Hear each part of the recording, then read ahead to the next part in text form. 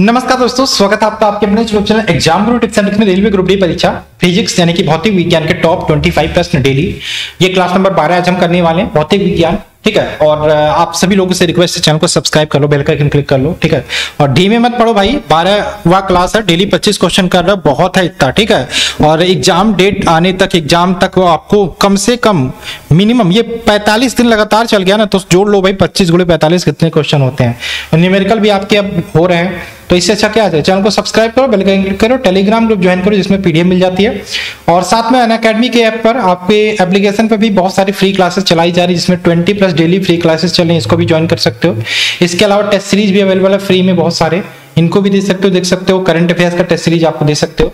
इसके अलावा फ्री में देख सकते हो SSC stenographer UPSI SSC MTS GD CHSL और ये सारे प्लस वाले हैं, ठीक है? प्लस को भी इनरोल कर सकते हो गुरु टिप्स कोड यूज़ करके 10% का डिस्काउंट मिल जाएगा। इसके अलावा एसएससी का, अन अकेडमी का mega scholarship test every Sunday होता है। लिंक डिस्क्रिप्शन में मैं दूँगा गुरु टिप्स कोड यूज़ करके इसको आप ज़रूर दो एवरी संडे आप वन ईयर का सब्सक्रिप्शन दे सकते हो एसएससी का, इसके अलावा आप इसमें स्कॉलरशिप भी जीत सकते हो। और ये देखो रैंक है टॉप वन पे अमित ने प्राप्त किया था। सेकंड रैंक अविनाश आनंद को थर्ड मिला था शुभम कुमार को। तो आप भी पार्टिसिपेट करो, आपको भी यहाँ पे मिल सकता है रैंक और एप्लीकेशन की बात करें एप्लीकेशन पे आपको आज का डाउट सेशन भी देखने को मिल जाता है। जहाँ पे आप बुक के कॉपी के नोटबुक के कोई भी क्वेश्चन आपको डाउट होता, तुरंत क्वेश्चन का फ़ोटो क्लिक करके भेजो और आपको डाउट क्लियर कराया जाएगा, ठीक? और ये हमारा कोड है गुरु टिप्स यूज़ करो टेन का यूज़ डिस्काउंट पाओ, ठीक? चलिए शुरू करें। क्वेश्चन नंबर पहला है सेशन नंबर बारह का। यातायात को रोकने के लिए यातायात संकेत के रूप में लाल रोशनी का इस्तेमाल क्यों किया जाता है? इसका आंसर क्या होगा? लाल रोशनी का इस्तेमाल क्यों किया जाता है? बताइए। यातायात को रोकने के लिए लाल रोशनी का इस्तेमाल क्यों किया जाता है? पहले क्वेश्चन का आंसर क्या होगा? है? क्या होगा? लाल रोशनी का इस्तेमाल क्यों किया जाता है? क्या आंसर होगा? देखो, लाल रोशनी की बात करें, लाल रोशनी कम बिखरती है। भाई, ये रहेगी तो ये फैलती कम है। ठीक? और इस कारण से यातायात संकेत के रूप में इसका प्रयोग किया जाता है। क्यों नहीं फैलती? क्योंकि इसकी तरंग दर्द सबसे अधिक होती है। सीधी सी बात, इसकी फ्रीक्वेंसी आवृत्ति कम होती है, इस कारण से नहीं फैलती। आवृत्ति कम होगी तो तरंग दैर्ध्य अधिक होगी, ठीक? अर्थात यह सबसे कम बिखरती है, इसलिए लंबी दूरी से पहचानी जाती है। लंबी दूरी से भी आप देख सकते हो। तो option number C right answer हो जाएगा। यह सबसे कम बिखरती है, इसे लंबी दूरी से भी पहचान सकते हैं। इसके अलावा आप ये भी याद रखिएगा कि लाल रंग की आवृत्ति कम और तरंग दैर्ध्य सबसे अधिक होती है। चलिए क्वेश्चन नंबर दो की बात करें। दो क्या है? दो है आपका। एक वस्तु का संवेग नियत है, तब निम्न में से कौन सी राशि राशि नियत होगी? एक वस्तु का संवेग नियत है तो निम्न में से कौन सी राशि नियत होगी? भाई, संवेग पी को मान लेते वी तो संवेग नियत है तो आपका वेग भी नियत होगा। Option number B right answer होगा। संवेग नियत तो वेग भी नियत। Option number B right answer होगा। क्वेश्चन नंबर बात करें हमारा। थ्री अभिकेंद्र बल सदैव कार्य करता है। तो अभिकेंद्र बल की बात करें, देखो, दो बल होते हैं, एक अभिकेंद्र होते हैं, इस प्रकार से हमारा वृत्त है। जो केंद्र की तरफ़ बल कार्य करता है, उसे अभिकेंद्र बल है तो ये केंद्र के तरफ़, यानी कि केंद्र की ओर त्रिज्या के अनुप्रस्थ कार्य करते हैं अभिकेंद्र बल। और एक बल होता है जो केंद्र से विपरीत कार्य करता है, बाहर की तरफ़, जिसमें वॉशिंग मशीन हो गया, दूध से क्रीम निकालने की मशीन हो गई, ये अपकेंद्रीय सिद्धांत पर कार्य करते हैं तो केंद्र से बाहर की तरफ़ जो कार्य करते हैं, उसे अपकेंद्र बल बोलते हैं, ठीक? अपकेंद्र बल का फॉर्मूला भी आपको पता होगा एफ़ बराबर एफ़ सी बराबर होता था M V square by R होता है। ठीक, चलिए।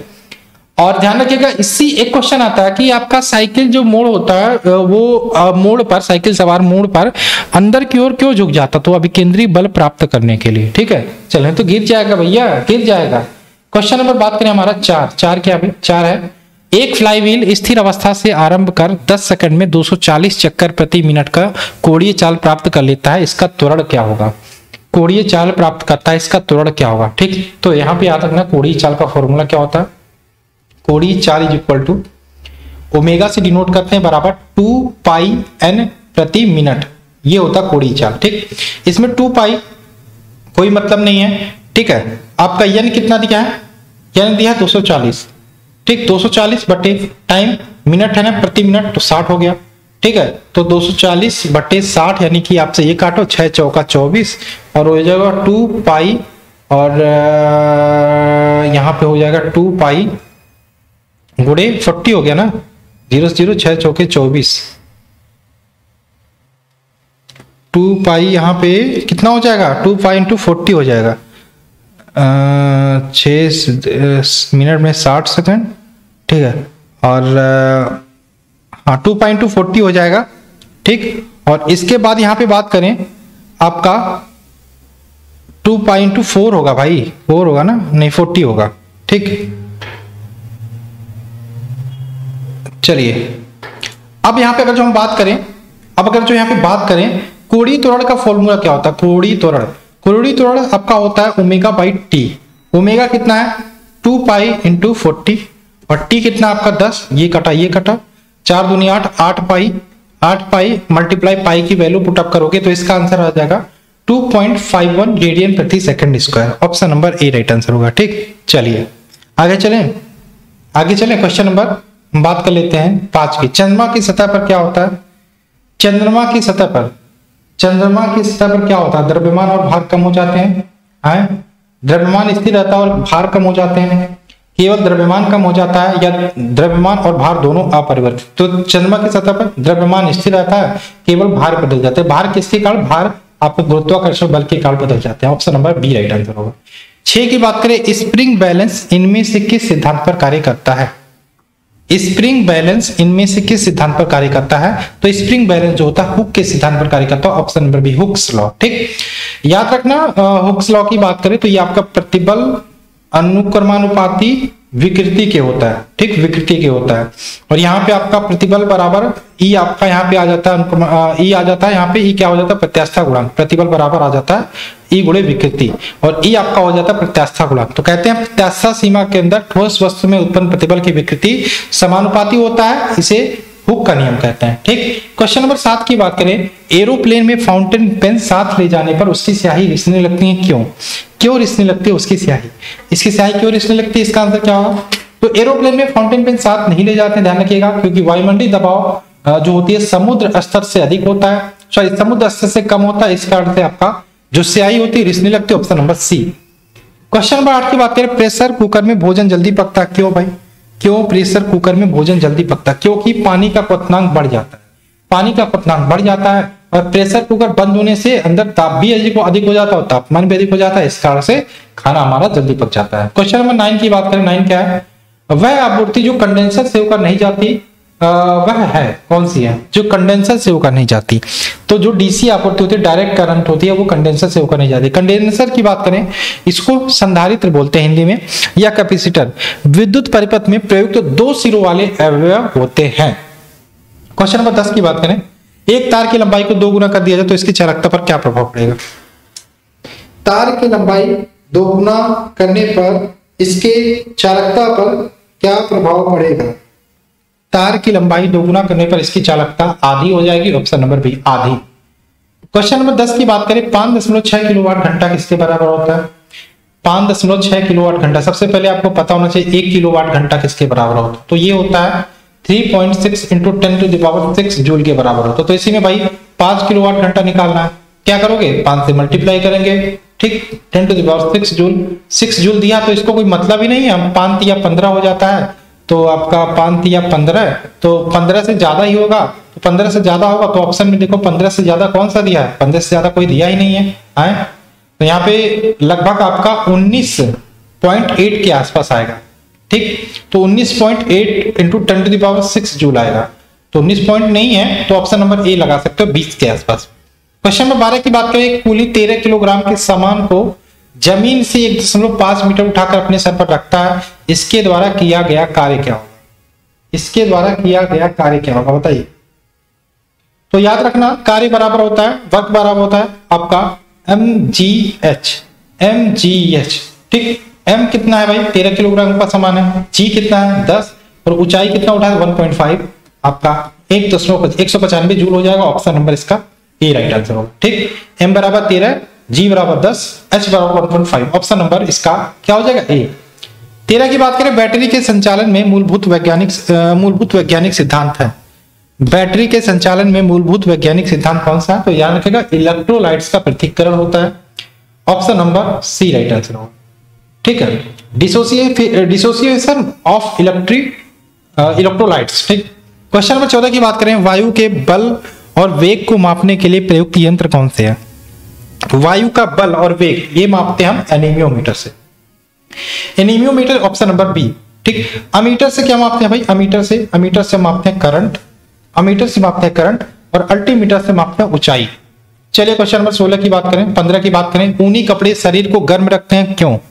क्यों ऊनी कपड़े शरीर को गर्म गर्म रखते हैं? क्योंकि ऊन एक देखो, ऊन क्या करता है भाई? हमारे शरीर में भी उष्मा निकलती है ना। तो हम जो कपड़े पहन लेंगे, ऐसे कपड़े, जो उष्मा के बैड कंडक्टर होंगे तो वो हमारे शरीर से जो उष्मा निकलती है, उसको बाहर जाने ही नहीं देंगे। तो इस प्रकार से कह सकते हैं, ऊन एक बुरा संवाहक है बैड कंडक्टर ऑफ़ हीट है। Option number B right answer होगा। सोलह की बात करें, एक गेंद को पकड़ने के दौरान खिलाड़ी अपने हाथों को पीछे क्यों खींचता है? बताइए, क्यों पीछे खींचता है? तो इसका याद रखना गति या मोमेंटम मोमेंटम कम करने के लिए, मोमेंटम कम करने के लिए, ठीक? देखो, P बराबर क्या होता है? P बराबर संवेग का फॉर्म P बराबर m इंटू बी ठीक? और V बराबर क्या होता है? V बराबर होता है वेग बराबर, दूरी बटे डिस्टेंस अपॉन टाइम होता है, ठीक? अब देखो अब देखो, जब वो गेंद को हाथ पकड़ के पीछे खींचेगा ना तो इसमें टाइम ज़्यादा लगेगा। गेंद पकड़ने के लिए हाथ को पीछे के टाइम ज़्यादा लगेगा। जब टाइम ज़्यादा लगेगा तो संवेग क्या होगा? कम हो जाएगा। ठीक? तो ये याद रखना। टाइम ज़्यादा लगेगा तो संवेग कम हो जाएगा। ठीक? तो इसको मोमेंटम या गति को कम करने के लिए वो हाथ को पीछे लगता है। तो मैंने बताया, संवेग का फॉर्मूला पी बराबर एम इंटू वी होता है और वेग बराबर डिस्टेंस अपॉन टाइम टाइम ज़्यादा लगा तो संवेग बढ़ा। Option number B right answer होगा। क्वेश्चन नंबर बात करें, सत्रह। चंद्रमा पर एक बम विस्फोट होता है। आप पृथ्वी पर इसकी ध्वनि क्या सुनेंगे? चंद्रमा पर बम विस्फोट होता, क्या आप पृथ्वी पर इसकी ध्वनि सुनेंगे? भैया, नहीं सुनेंगे। चंद्रमा पर एटमोस्फियर ही नहीं है तो हमें ध्वनि नहीं सुनाई देगी, ठीक है? चंद्रमा पर साउंड नहीं ट्रेवल कर पाएगा, क्योंकि साउंड को ट्रेवल करने के लिए, ध्वनि को ट्रेवल करने के लिए मीडियम की आवश्यकता होती है। जब मीडियम ही नहीं होगा तो कोई मतलब ही नहीं अब कितना चिल्लाओ। और जो जाते हैं ना अंतरिक्ष यात्री चंद्रमा पर, वो एक उपकरण लिए होते हैं, उससे बात करते हैं, ठीक है? तो आप विस्फोट को नहीं सुन पाएँगे ऑप्शन नंबर डी अठारह की बात करें, विद्युत चुंबक चुंबक का निर्माण निम्नलिखित में से किसके साथ किया जाता है? तो विद्युत चुंबक का निर्माण की बात करें नर्म लोहा या soft iron option number B. 19 की बात करें, सौर ऊर्जा किसके द्वारा उत्पादित होती है? The solar energy produced by तो ये होती है संलयन प्रक्रिया द्वारा, ऑप्शन नंबर ए। संलयन प्रक्रिया, ठीक? Option number A right answer हो जाएगा। न्यूक्लियर फ्यूजन न्यूक्लियर फ्यूजन, ठीक? चलिए, हाइड्रोजन के दो आयन मिलते हैं। तो आपका हीलियम बनता है। ठीक है, चलिए क्वेश्चन नंबर बात करें हम 20 एक एथलीट बढ़त प्राप्त करने के लिए ऊँची कूद से पूर्व दौड़ता है। भाई मतलब यहाँ से यहाँ तक हमको कूदना है। तो अब क्या करेंगे भाई, हम यहीं से कूद जाएँगे? नहीं। हमें और लंबी दौड़ लगा के कूदेंगे तो और दूरी प्राप्त करेंगे। तो किस लिए कूदता है? वो जड़त्व ऑफ़ मोशन गति, जड़त्व प्राप्ति करने के लिए। ऑप्शन नंबर इसका, जड़त्व गति प्राप्त करने के लिए ऑप्शन नंबर ए ठीक। इक्कीस की बात करें, इक्कीस क्या भाई? क्या कारण है कि व्यक्ति चट्टान पर प्रहार करते हुए चोटिल हो जाता भाई, चट्टान को आप मारोगे तो उतनी ही वेग से चट्टान को भी आपको धक्का यानी कि न्यूटन का तृतीय नियम, क्रिया प्रतिक्रिया का नियम रिएक्शन या प्रतिक्रिया option number C right answer question number 22 की बात करें, निम्नलिखित में से किसने एक्स किलो का आविष्कार किया था? एक्स किलो की खोज किसने की थी? एक्स किलो की खोज विलियम रॉन्डजन ने की थी option number B question number तेईस की बात करें निम्नलिखित में से किसमें उच्चतम ऊर्जा होती है? किसमें उच्चतम ऊर्जा होती है? तो आपकी उच्चतम ऊर्जा की बात करें तो आपका नीला प्रकाश याद रखिएगा, ब्लू लाइट में उच्चतम ऊर्जा होती है ऑप्शन नंबर ए ठीक? सबसे ज़्यादा ऊर्जा की बात करें, देखो, जिसकी तरंग ऑप्शन के हिसाब से मैंने ब्लू बोला, ध्यान रखिएगा। ठीक है? जिसकी तरंग दर्द कम होगी, तरंग दर्द कम होगी, उसकी ऊर्जा ज़्यादा होगी, ऊर्जा ज़्यादा होगी। आप कहोगे, सर जी, आप तो गलत बोल रहे हो। बैगनी की तरंग दैर्घ्य कम होती भैया, बैगनी की होती है, लेकिन बैगनी ऑप्शन में नहीं है ना। तो विप ग्योर आपने पढ़ा ना। विप जी, ओ ओ विब हाँ जी, ओ विब ग्योर। एक, दो, तीन, चार हाँ सा विब ग्योर पढ़ा ना। तो बैगनी है ही नहीं ना हाँ? बैगनी है ही नहीं तो आपका ब्लू हो जाएगा, नीला हो जाएगा ऑप्शन नंबर इसका ए राइट आंसर होगा, ठीक? क्वेश्चन नंबर 24 की बात करें सिटी स्कैन करने में प्रयोग में लाई जाती है। तो सिटी स्कैन करने में प्रयोग में लाई जाती है X rays option number D right answer होगा। पच्चीस की बात करें, दूरबीन का विस्तार, ये लास्ट क्वेश्चन है, गैलीलियो ने किया तो ऑप्शन नंबर है। तो ये थे दोस्तों आज के पच्चीस क्वेश्चन आई होप आपको अच्छा लगा होगा। और ये सेशन डेली कंटिन्यू रहेगी 45 डेज़ तक लगातार। और आज बारहवा क्लास था। आप सभी लोग यार क्लास को लाइक करो। टेलीग्राम ग्रुप ज्वाइन करो, जिसमें पीडीएफ में सेंड करता हूँ। और पढ़ते रहो, मस्त रहो, कोई दिक्कत नहीं चलते हैं, मिलते हैं क्लास में। जय दोस्तों।